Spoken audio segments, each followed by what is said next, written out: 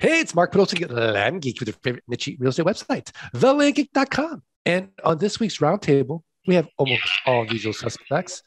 We've got the Zen Master, breathe in the mailing, breathe out the marketing, Mike Zaino. Mike, how are you? I'm doing excellent. Thank you.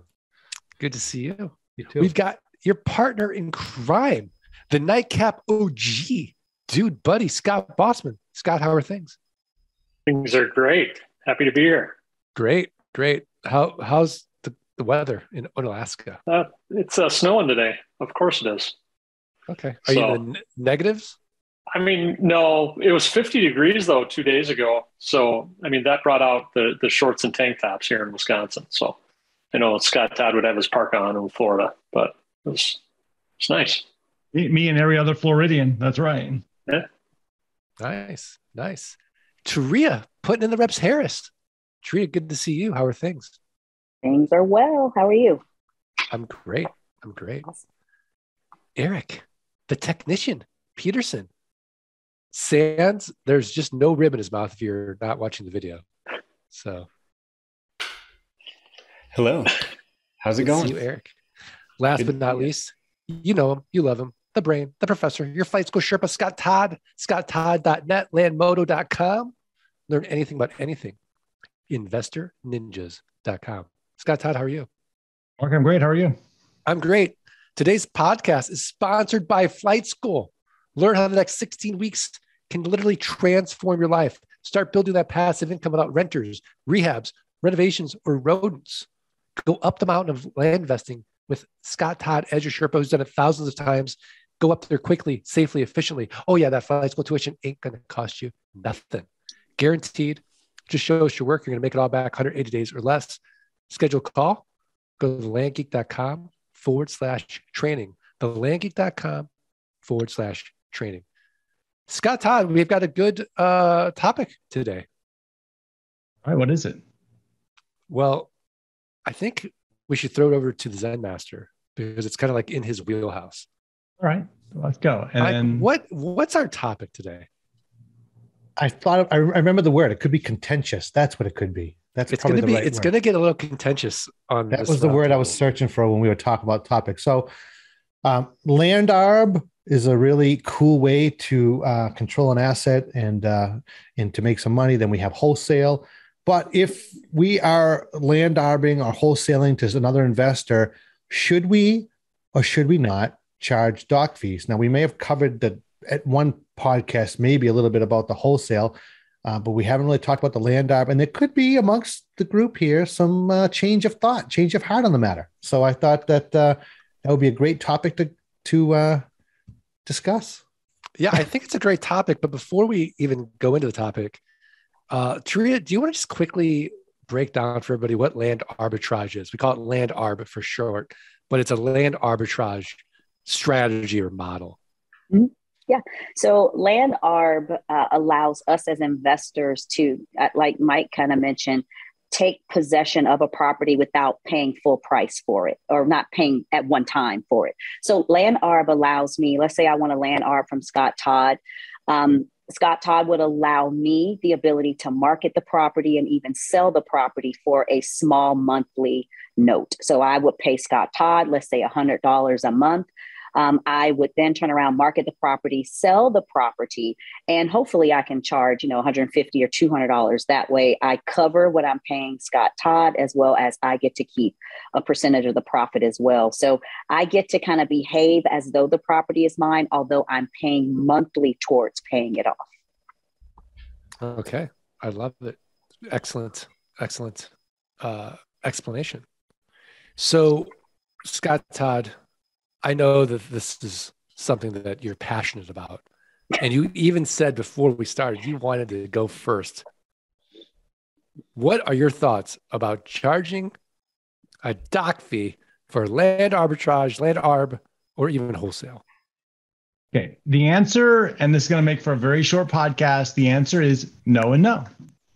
Book closed. Game over. Why would we? Why? Okay, look. uh, okay, I'll expand on it. Wholesale. You know, the thing about wholesale properties is, you know, again, the the doc fee component of the wholesale property is you're selling it at a discount to somebody else. You've you've made your cash. You move on with life and you go. Tacking on another fee to it, it, it just makes it so that that person's going to have a harder time to. Um, you're getting the quick sale, and they're going to get the probably the the most likely the the the slower sale, and for more money. That's no problem. But essentially, if you wanted to say, "Hey, listen, I'll I'll sell it to you for this price, and you pay for your own recording. I'll give you a notarized deed, and you record it." No problem. That that's cool with me. I just wouldn't charge a doc fee on it. And I think the same thing applies on the on the land arb, right? Like the land arb, uh, you're you're making money through the passive income component of it. Why put a doc fee to it? But I can I can see on a doc uh, on a land arb having a doc fee. I, I understand it because it is at, after all it is a terms transaction, and you know, I don't know that it's definitely, I'm not going to say it's wrong either way, however you want to do it, wholesale or land arb. I just don't do it in my business. And so if I don't do it in my business, then that's the definitive answer in my mind. I don't know. So I'd like to well, know what Zaino has to say about it. Well, I think Zaino should go last because he's like the yeah, he should have like, yeah, I'm good with that. The definitive sort of I think I was slightly it. attacked right there. I don't know. I'm feeling a little nervous. I, I think I hear someone call my name. I might have to step out. There's a fire somewhere. That's right. Scott Todd, do you send Mike Zaino Pepto Bismol like a like a monthly thing? Because he gets nervous easily, and, and no, you're the one no, making him nervous. No. no. Okay. It's like subscribe and save. I could. Month. Yeah. Yeah. Uh, dude, buddy, Nightcap OG. What are your thoughts? Doc fee, no doc fee, land arb, wholesale. Uh, you may be surprised, but I agree with Scott Todd. Uh, these are these are quick sales. There's there's there's very little work in these deals. There are really no marketing costs, and you know when we sell retail or sell on terms, typically there are some marketing costs with those. We like to use the doc fee to recoup recoup some of those costs. Um, so uh, to me, you know, uh, we do not charge doc fees uh, for these uh, I want the person I'm selling to to be able to make a good return. So they come back to me in the future. Learned that from Mike Zaino. Um, and so anyway, that that's where I'm at. And how, how, about a no collection fee on GeekPay? Right. Because it's right. on a land arb deal. Do you, do you charge the nine bucks a month or 12 bucks a month? So I cut it in half. I usually do 10. Uh, I've done five for my buddies like Matt Forbes, I, I, you know, I did him a favor and didn't charge him a monthly note fee because he cried about it. Um, so, but I mean, you know, it's flexible, right?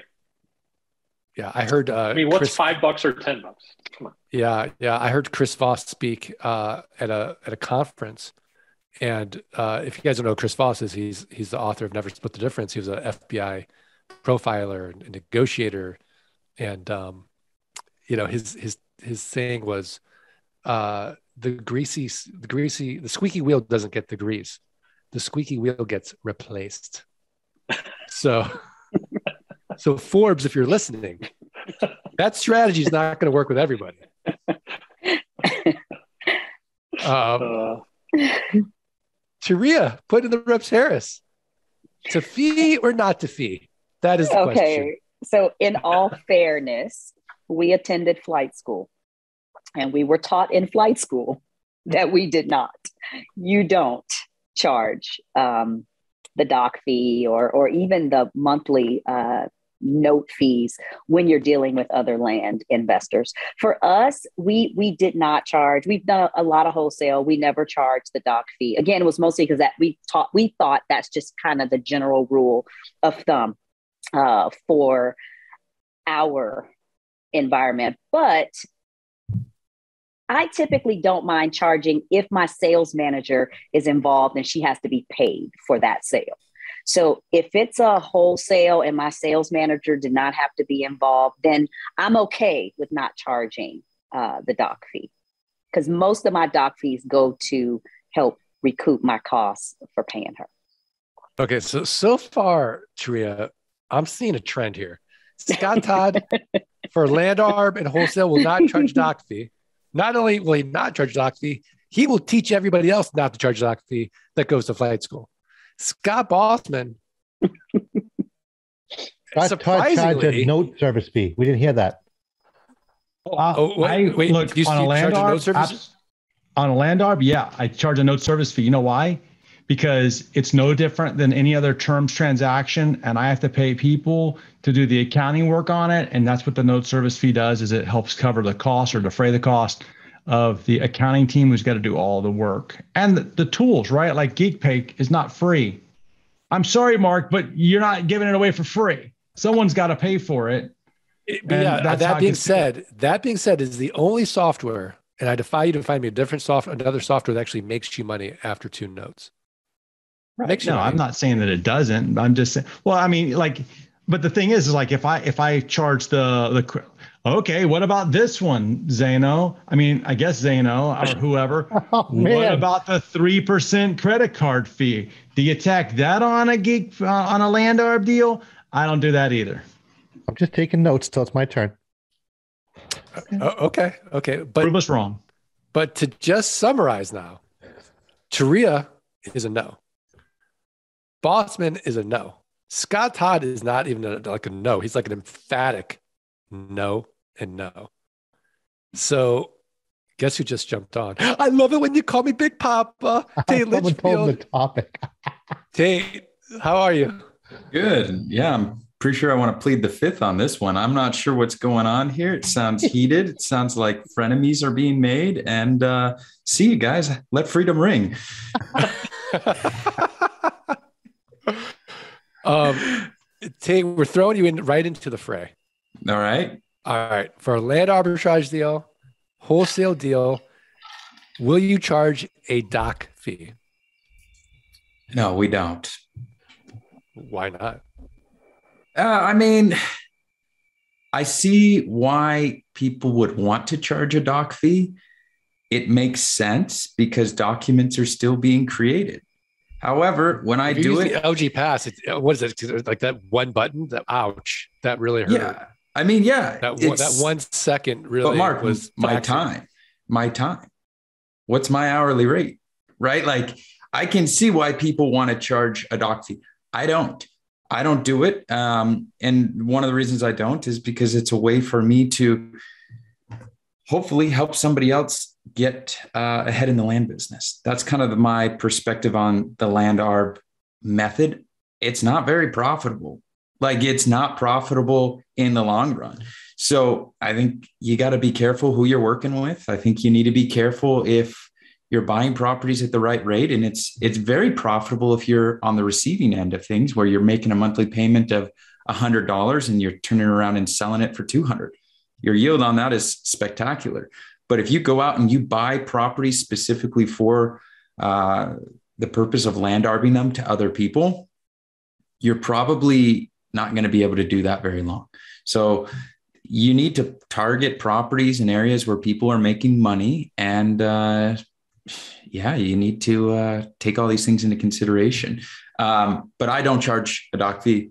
I do charge a note collection fee because, as Scott said, there's still resources and people and personnel that go into making sure that your note uh, gets entered in correctly and is managed and uh, taxes and all of that. So there, there's that's kind of not an option.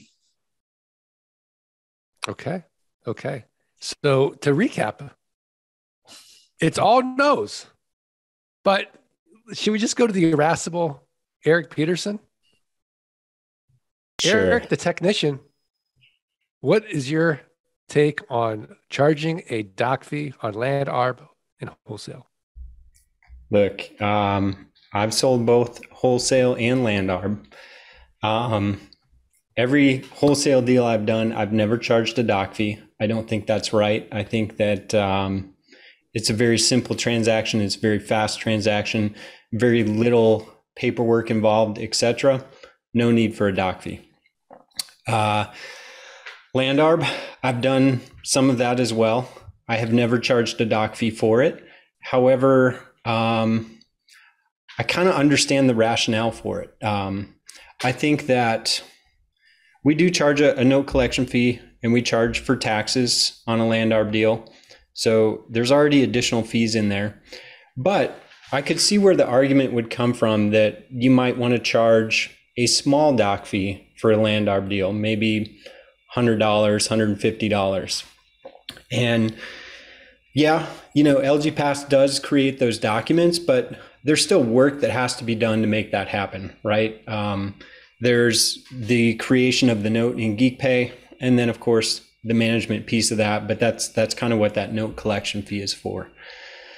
But um, it's that initial upfront work where I could I could understand the rationale for it.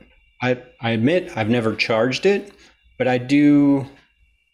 I see where someone would might maybe want to do that. Now, if someone wanted two hundred fifty dollars for that, I think that's out of line. If it's 100 to $150, I think that's acceptable in my mind.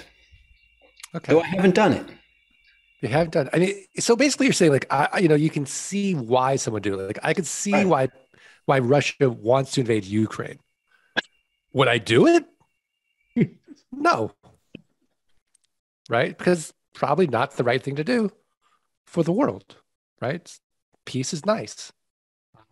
It's just a a, a better way to behave among Heavy handoff to me. Talking right? about World War, then handing it off is, to me.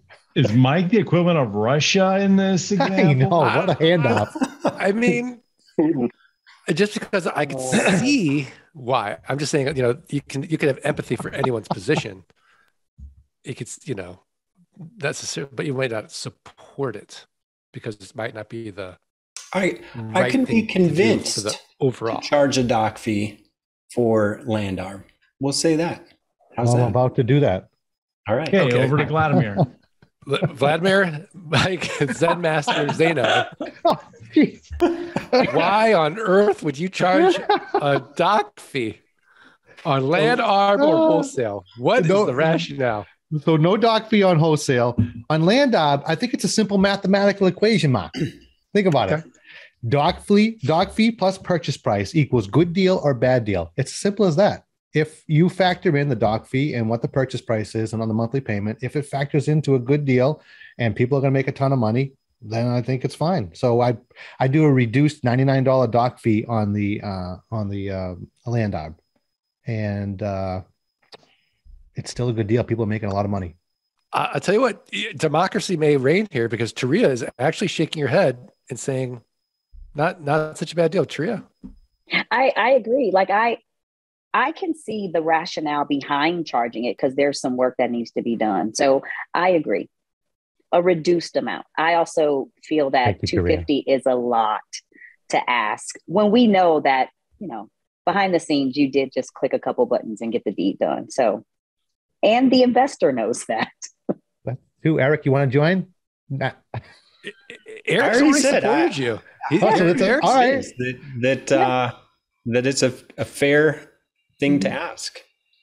So so Erik and Teria can can see why you would do it, and I'm they don't down think to it's unreasonable.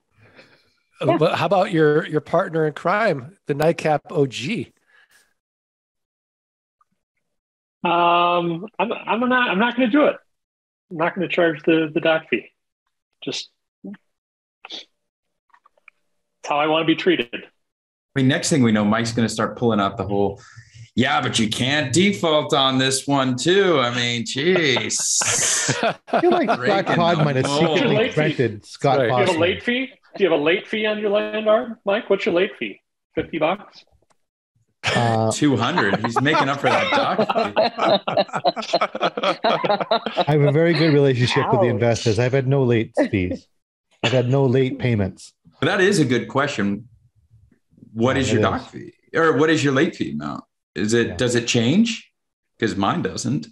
No, I have not modified the documents to change that, but I've never had to administer it though. Yeah. yeah if you're using GeekPay, you shouldn't have to, right? Right. Right. I mean, never, no one's ever suffered it, I should say. Right. Right. I got, okay. I got to ask Erik Peterson about late fees because that guy's always at the forefront of it. He told me a while ago my late fees were too low, and so that's that's a conversation we got to have off off camera because uh, maybe maybe I need to adjust. Maybe mine need to go up a little bit. Well, let's just ask Erik. That. You know, point blank, what are you charging for a late fee? Fifty bucks. Ooh, nice. low. I mean, I, I don't think that's a bad late fee. Price went up. inflation. Convince me. and you should never be late. You just shouldn't be late, right? Um, for sure. Okay, so let's just take a look at the scorecard scorecard now. Erik and Teria don't charge a doc fee, but they might be persuaded to now after Mike's very rational argument. Scott Bossman, surprisingly, is still holding his ground and saying no. Threatened. Tate, Right. You're you're and you're holding your ground and still saying no, you will not charge a doc fee on a land arb deal to break the tie. I, I have one last comment on the on the subject. So typically in a land arb, let's say it's hundred dollars a month for however many months, right? Typically you would your deposit or your your payment to start the deal would be that hundred dollars a month. Right. But if you're charging a dock fee, well then it might be 199. But what if you're not charging a doc fee, but you're charging $200 down and then $100 a month. Is it essentially the same thing? Because if someone defaults, they don't get their money back anyways, right? Tomato, tomato. Yeah. It's the same deal. It's Just how you deal. frame it. It's phraseology. I, I mean, Tate, do you want to jump in on this one? Ah, I mean, yeah, phraseology. I, I, I think you look at it, and some properties do deem a higher down payment just because they're more expensive, right? And and that's okay. Um, I, look, people. At the end of the day, it's a personal decision. If you're okay paying a down pay, a larger down payment or a doc fee, have at it. What do I care? I don't, right? Like, you do you, man. Like, I, I honestly could care less what you do, but run the numbers, know your numbers. And if the deal makes sense, have at it because land arb has proven time and time again to be a very, very lucrative way to control a lot of inventory without having to lay out a ton of cash. That's what it comes down to. That's why uh, it's even around because early on, we realized that the one in, one out approach of this business does not work. You have to have inventory. You can't sell something you don't own. And if you want to sell six properties a week, you got to have more than two in inventory. That's it. Well, yeah, yeah, absolutely. And um, I don't know if anybody else had a visceral reaction to his apathy like I did, but uh, you know, we, we could talk about that off camera. I've had a rough day, okay, man, and I'll tell All you why off camera. all, all right, we'll, we'll, we'll, we'll talk about it. Not look, you're entitled to a rough day, not a problem. Yeah. Um, Scott Todd, do you want to break the tie here? Do you want to have the Look, definitive? I, I would just say I'm going to stick to my number, stick to my my original plan, and um, as Tate said, you do what you want to do in your business. I think it comes down to the the type of like what the person wants to do. If the person's doing a land arb deal and they don't mind paying Mike's ninety nine dollars, great, they're going to pay it. I don't think there's anything wrong with that. It's it's up to the individual person. Mike Mike said something that's that's um, that's that's key, and it reminds me of something my dad told me a long time ago and he mentioned like getting a good deal run the numbers if you think you got a good deal and i remember asking my dad when i bought my first car i'm like dad do you think this is a good price on the car and he said do you think it's a good price on the car and i said i think it's a great price on the car and he's like at the end of the day that's all that matters is if you're happy with the transaction then it's good right because you're the one you're the one that has to be happy with the transaction. And so if you're dealing with Mike and he wants to charge a $99 doc fee for a land arb deal and you think it's a good deal and you're you're okay with it, cool. Um, if someone wants to charge you $250, I mean, I would tell you not to do it, not to do that deal, or to negotiate it, maybe negotiate it back down to the Zaino price, $99 or whatever, right? I, I can just tell you what I do in my business, and that's what you get here is you get everybody telling you what they're going to do in their business. And just to kind of close this out a little bit, just remember every retail store that you ever go into, they all have different return policies. I bought something from Nordstrom's. I held on to it for like 60 days and I'm like, oh man, they're probably not going to take it back. They took it back, right? And on the back of it says that their policy is on a case by case basis. That's what their policy says. Now, if I were to take that back to, I don't know, Penney's or the outlet mall, they might tell me, sorry, you had 30 days. That's the way it is. So every store in the world operates on its own policies. Every company operates on its own policies. And it's the same thing with each of our businesses is they all operate on our own policies, pricing and everything else. So get a good deal. That's all I got to say. Uh, yeah. Uh, Tate's clapping for that answer. That is the definitive answer, Scott Todd. And it reminds me, we should put this on the calendar for our next roundtable. I think it'd be interesting to go around and hear the best advice you've ever received from your father. Like we, you know, then then on Mother's Day we we do the mothers, because like there's there's you know that that mom wisdom's always sort of trumps the dad's wisdom, as we all know. But let's give dads that that dad wisdom a little love. You know, I think I heard James Taylor talk about it on a podcast. Uh, for all the dads out there, he, he made a comment that there's like very few times in, in a life where a dad has to step up and show up and like be there for their kid and, you know, give that fatherly wisdom. And that's like all you have to do as a dad is like just show up in those crucial times. And um, I thought, boy, that's a really low bar. I can handle that. It, was, it kind of made me. I slept really well that night. I tell you. Thank you, James Taylor. Mike Zaino, how you feeling? Feeling great. You just brought some nostalgia, bringing up that idea of talking about your parents. So I thought that was really cool, and um, I thought it was a great topic, and uh, I loved how Scott Todd rounded it out at the end. So I'm good. Okay, great. Well, I want to thank the listeners and remind them that the only way we're going to get Teria Harris to give us the tip of the week this week is if you do us three favors follow, rate, review the podcast, send a screenshot of that review, support at thelandgeek.com. We're going to send you for free a signed copy of Dirt Rich. Teria, put in the reps Harris, what is your tip of the week? So the tip of the week today is actually it's it's a tool. Um, the website is called Break Cold, break C O L D.com.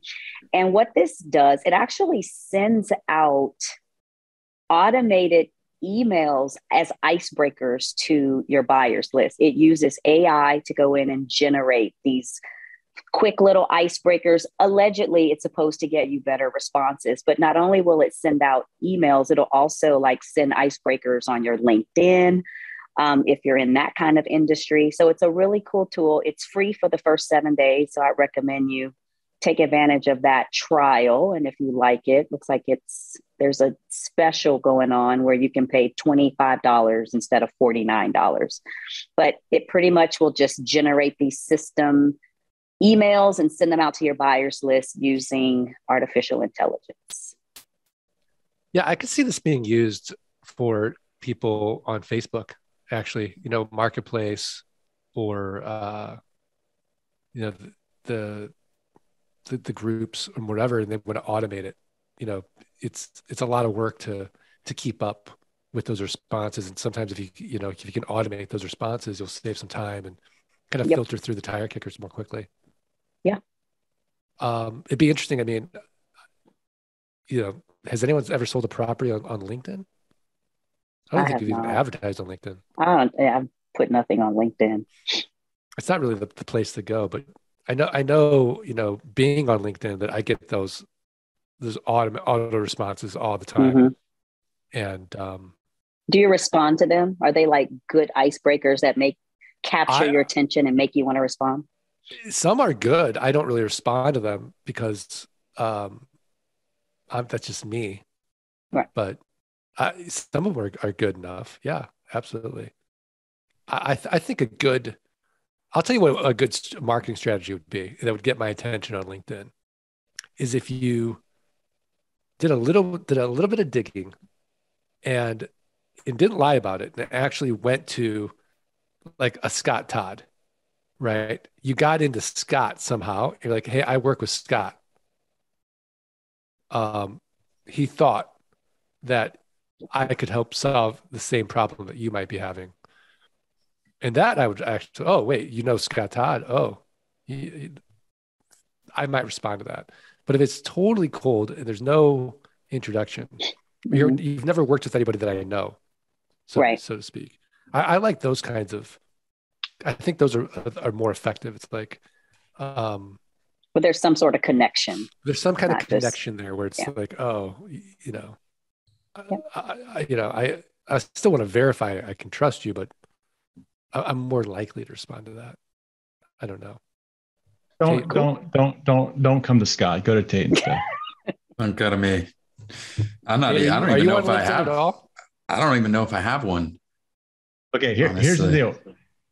If you want to get to Mark, you got to go to, you got to start off with uh, Zaino.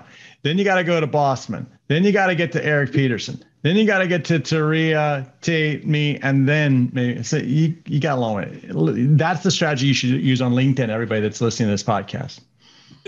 No, I mean my my ego has become so fragile now. I'd like to think that you have to go through six people to get to me. Mar- Mark, you know what it reminds me of? Because like I'm on the I'm on the Billions bandwagon right now. Like we're binge watching Billions, and um, I'm get I got to the point where a relevant character is now uh, like um, he's like the the go to guy for whatever you need, and he's like running all around town. This one episode, he's like running all around town, like trying to make deals happen. Right? You need this, you need that, you need that, and he's connecting all the dots together. That's what they need. Is they need to figure out who who all needs what. Give me a park anywhere pass in the city and I'll get you right to Mark. All right. Yeah, I I love it. Um, such a great show. You're you're really late to the party on that billions thing. I'm I'm caught up. Better late than never, man. Wait wait till you see the Paul Giamatti's transformation in the last season. Oh boy. I won't spoil it for you. Should I spoil it? No, do No. not. I'm hanging up now. All right, fine. I'm not, not no, not not anything with the show. Just his, just never mind. All right, are we are we ready to do this? Are we good? I was good when I got on. That that topic was so was so compelling. it was like I walked into a hostile environment. It's like, whoa, what what did- what did I miss? What happened and to set this conversation up? It was like we are divided. Choose your side. There is a right answer. Half of you won't return. It was oh man. All right. First time Scott Bossman didn't support me. Sounds like we need a little couples therapy. It's personal. You should take that. per- that's personal, Mike. Yeah, yeah. Um, so I, I I would say that the two of you need to get together with your sweatcetos and work it out. But it has to be with the sweatceto. And I have to do two more nightcaps to get my sweatceto. Is that all I have to do? Right. And Teria's working away into one now. Tari- uh, So Teria's two away. No, I- I'm on this week. You're, oh, you're on this week. Oh, okay. So after this week, then you'll be two away. Wow, be too away. cameos count. You just got to pop on. A cameo will count. I, I'll jump on. You guys have to remind me. Just vox me. All right. I'll Okay. jump on. I want that sweatceto. If you guys aren't We're watching, going to send one to by the way, Scott because we love him. Not no no appearances needed. Wait, I got to work for mine now. I, I, So yeah, the- okay, so the just- rest- Oh Work yeah. So wow, jeez. Yeah, oh, wow. Yeah. I only say that because I know he doesn't want it. Wow. Oh, I want to receive a free sweatceto in the mail. Jeez, maybe that's a way to a man's heart right there. Seriously. oh. Unbelievable. All right. Are we ready to do this? Let's do it. Yes. One, two, three. Let's Let freedom, freedom ring. ring. All right. Thanks, everybody. So, Tate, what's it like being back in the desert after Maui?